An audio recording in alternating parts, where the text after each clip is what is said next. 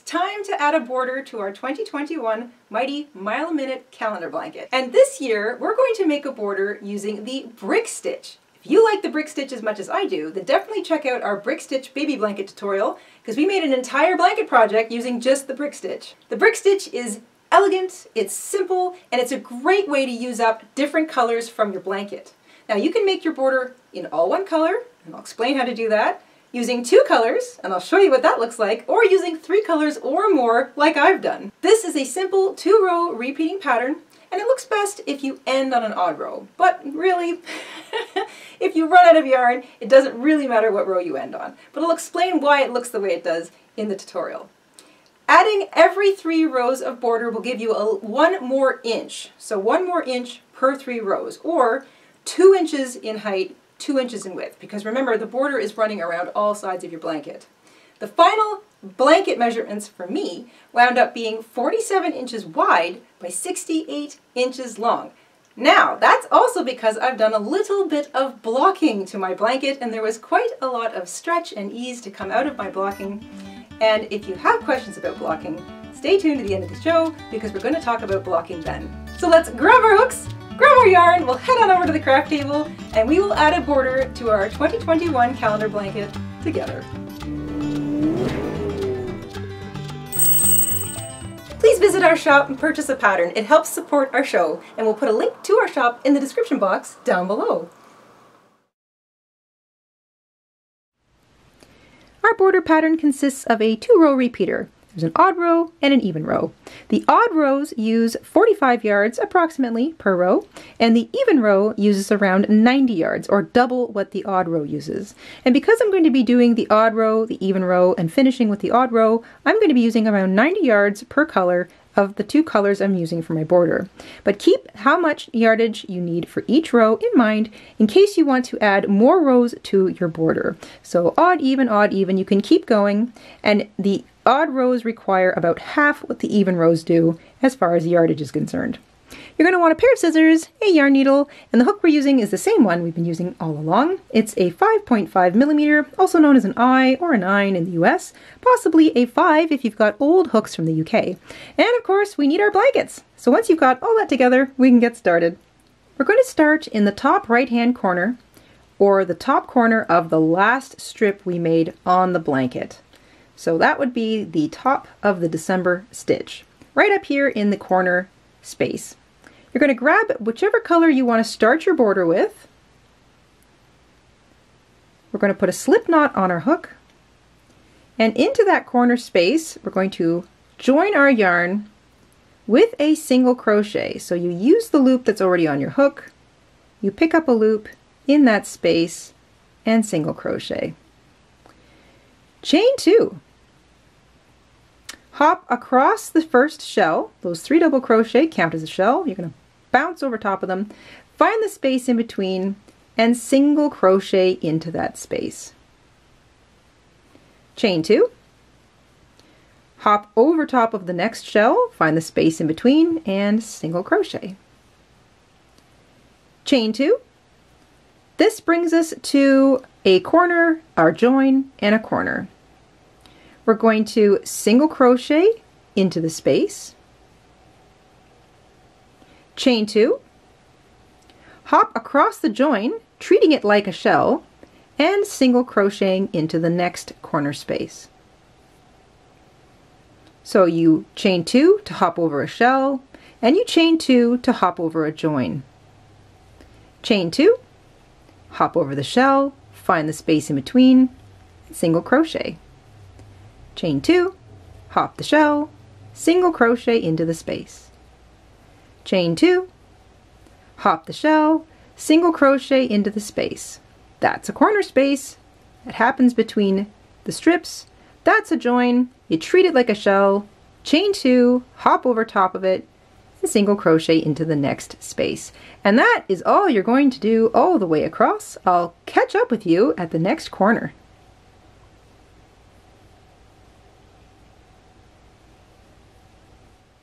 That is the top of the blanket done so far. So you've got a single crochet in between every shell, chain two to hop over top, and when you reach the seam between strips, single crochet in the corner space, chain two to hop the seam, and single crochet into the next corner space. And that just keeps things nice and even all the way across.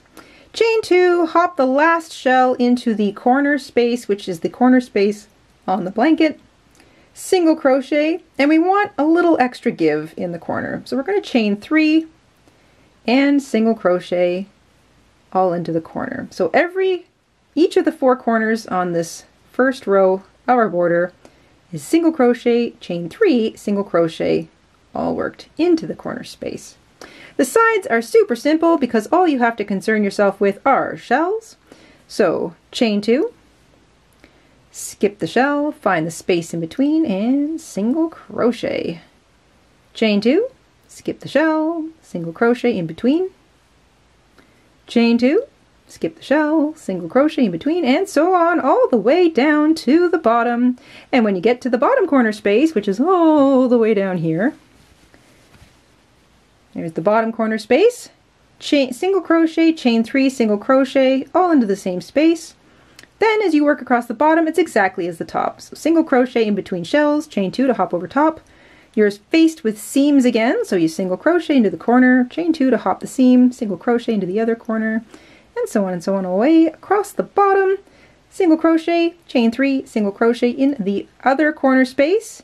And the sides are easy, you're just concerned with shells. So that is the foundation row of our little border. Nice and simple. Just take your time, take a breath, and I'll see you back around at the beginning.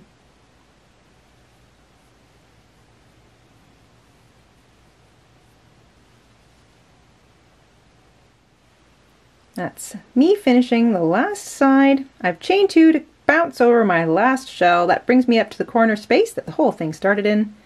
I'm going to single crochet into it, chain three, so it's single crochet, chain three, single crochet in every single corner, and there's four of them. But since we started with a single crochet, I'm just going to slip stitch to join.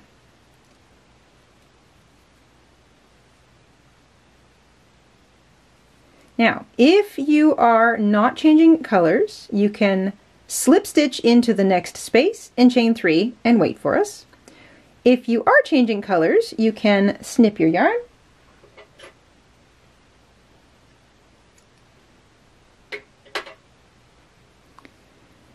and fasten off. And you can take a moment to weave in your tails if you want, or you can work over top of them. It's entirely up to you, but we're going to grab color number two. Color number two, we start with a slip knot on our hook. Now, normally, I like to start in a corner, as you all know. And if you want to start in a corner, you're more than welcome to. This really isn't a very complicated pattern, but since if you're not changing color, I directed you to just slip stitch into the chain two space here and chain three, we're all going to start in the same place together. This does not affect the outcome of the border, and it just keeps us all on the same page. So you're going to join with a slip stitch and chain three to begin. This is going to look very familiar to the shell stitch that we bordered the entire uh, blanket with. Every single border was the shell stitch. Chain three counts as a double crochet. You're going to double crochet twice more into that chain two space. I'm going to work over top of my short tail, but of course you can weave yours in later. And that's all you're going to do in every single chain two space all the way across. You know what? I will weave my tail in later too. Three double crochet in each of those chain two spaces, that's the space between single crochet stitches from the previous row. So your little single crochet stitches are going to show between your shells. So into the space, three double crochet, nice and easy, no chains between shells, you're just double crocheting three times into each space all the way across and I'll catch up with you at the corner. That's three double crochet in each of those chain two spaces between the single crochets all the way across. So no chains between shells, you're basically just double crocheting. And that reflects this lovely little shell stitch border that we had on each of our strips. Nice little solid row. When you get to a corner, and if you were starting in a corner, you would basically do the same thing that we began with. Join with a slip stitch, chain three, that chain three counts as a double crochet, and then you finish a shell. But every corner looks the same. We work three double crochet into that chain three corner space. And some of you may be wondering why we're using three chains in the corner and not two, like I often do. And that's because Single crochets are short stitches, so you need a little extra give in the corner. Three double crochet, chain two, only two chains because the double crochet is a tall stitch, and into that same corner space, three more double crochet. So shell, chain two, shell, it's that classic granny square corner. All four of your corners are going to look like this. And if you started in a corner, you would have chained three, worked two more double crochet, and then continued with the row or worked the whole corner first. It's entirely up to you. But like I said, this is a very simple little pattern. You're basically just using the double crochet stitch and the only chains you work in this entire row are right here in the corner. You need two chains in the corner and that sets you up for your next little odd row. The brick stitch is such a pleasing stitch. And off we go. Three double crochet in every chain two space. That's across all four sides. Shell, chain two shell in every corner. And your corners are three chains from the previous row, but only two chains on the double crochet row. And that's all you've got to do. I'll catch up with you back at the beginning.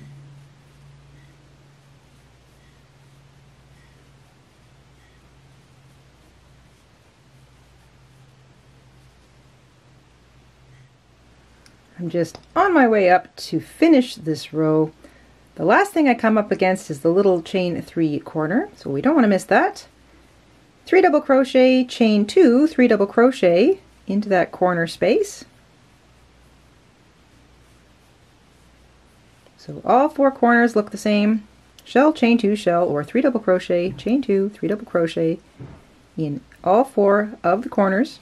So it doesn't matter if you started in a corner or you started in a chain two space. And we all started here, unless you started in the corner. Doesn't matter, wherever you finish, you should be butted up against a chain three that began the row, and you're gonna join to the top and slip stitch. So it's all double crochets all the way around with little chain two corners and there's only four of them. No chains between your double crochets, but of course, because we're working them into chain two spaces, you get that little shell effect. Easy peasy. Now, if you're not changing colors, you are just going to slip stitch across the next two stitches and single crochet into this space between shells. And then you're going to continue with this row one single crochet, chain two, single crochet in between shells, chain two, single crochet in between shells. Or if you're changing colors like me, you want to take a moment to fasten off. Weave in your tails, and I will be joining my yarn in the corner this time. So it doesn't matter where you join, you join with a single crochet either in between shells or you can join with a single crochet in the corner space. I'm going to join back there, but like I said, doesn't matter. Weave in your tails, and through the magic of editing, I'm going to show you what the third row looks like using just two colors before we come back and I demonstrate using a third color because I've decided I need a little more red in my blanket. If you're going to use two colors for your border, this is how it's going to look. So color A sandwiches color B in the middle and the reason we want to always end on an odd row for this brick stitch border pattern is that it highlights those pretty little shells. It kind of frames them. So you end up with almost a, a, little block stitch look all the way around your blanket. Now I love that two color look and it's very attractive and if you just want to do the three rows that's what it's going to look like. I however am going to take out the blue. I'm going to put in red because I've decided I want some more red in my blanket and I'm going to do the third row with red. And then I'll be able to show you what three rows of this looks like. You can repeat this border pattern, odd, even, odd, even, odd, as many rows as you want, but I recommend ending on an odd row because that, that odd row just frames our little shells ever so nicely and you get sort of a block stitch running around the outside of your blanket. So that's a two color row. Let's take a look at what three colors looks like. To begin our odd row, we're going to start with a slip knot on our hook. I'm going to join my yarn in the corner with a single crochet, just like we did to begin the border row one, chain two, and you know the rest. Single crochet in between the shells from the previous row, chain two, that hops you over top of a shell, and of course now we don't have any seams to worry about, so you're just single crocheting in between shells, chaining two to hop over top, and if you are only using one color, and you started with a single crochet right here, you just chain two, single crochet into the space between the next two shells, and so on. And when you get all the way back around to the beginning, remember your shells are single crochet, chain three, not shells, corners. your corners are single crochet, chain three, single crochet. I'll show you that one more time when I get across. And then chain two, skip the shell, single crochet, and so on. And wherever you wind up, when you're back at the very beginning, chain two to cover your last shell and slip stitch to join to that first single crochet. And that is exactly the same no matter where you start this pattern. I'll catch up with you at the next corner just to show you what the corners look like and then you're on your own for the rest of this row. And there is the three colors worked into the border and you can see how you still have a nice little framing around those little shells from the previous row, but now that I'm using red, it really pops because it's running along the top edge of the blanket. I like both. I like two color and I like more color. and once you get up to the corner, remember with the odd row, you chain your last two to skip the shell and on the odd row, the corners are single crochet, chain three, single crochet. And it's three chains, not two, because the single crochet is short. And we need the room there for two shells. So if you were going to continue with the pattern in your even row, you'd work three double crochet, chain two, three double crochet into that space. And that's why we use the three chains. And that's that. You're just going to complete the third row. I'll catch up with you back at the beginning and we'll be all done. We're on the home stretch.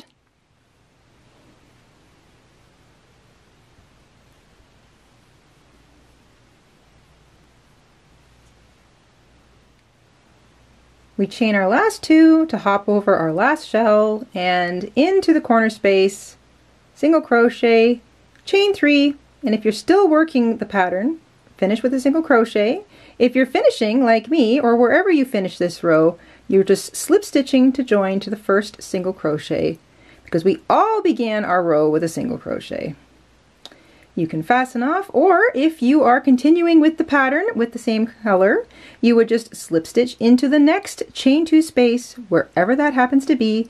Chain three counts as your first double crochet, finish the shell with two double crochets and then three double crochet into each chain two space all the way around. Remember on the shell row, your corners are shell, chain two, shell.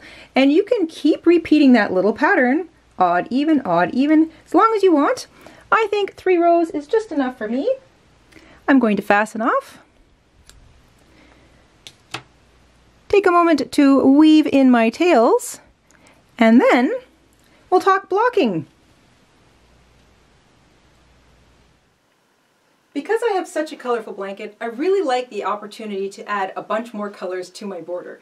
I feel that it continues to bring that interest and excitement into the border, and because we use the brick stitch, it's a very calm stitch, it's not super complicated, doesn't have a lot of bizarre angles, so it really does look nice in solid colors or using all of the colors in the rainbow. Let's talk blocking.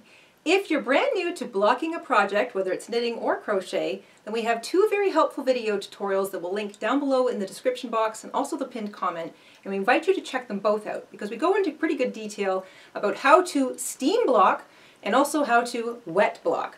Now for a project like this, because it's so large, being a blanket, I would recommend the wet block technique. And I would also recommend that to you if you've never blocked a project before because it's a lot easier, it's a lot more forgiving, and you don't have to worry about possibly burning your little fingers. Wet block also doesn't mean that you have to get the entire project dripping wet and you don't have to wash it either. In fact, one of the easiest ways to block a large blanket is to lay towels down on the floor, probably best if you use the bathroom because you want to have a tiled floor. And if you don't have enough room, then laying a double layer of towels down on the floor in any room that you've got space uh, using those little foam mats that all kind of interlink, you could put those down with towels over top. It's up to you, but you're not going to get your blanket really wet. Once you've got your towels laid down, you're going to stretch your blanket out, you're going to pat it as flat as you can, then you're going to take a little spritz bottle and you're going to fill it with plain water. Nothing else, no conditioner, no chemicals, no soap, nothing, just regular water, and it should be about room temperature.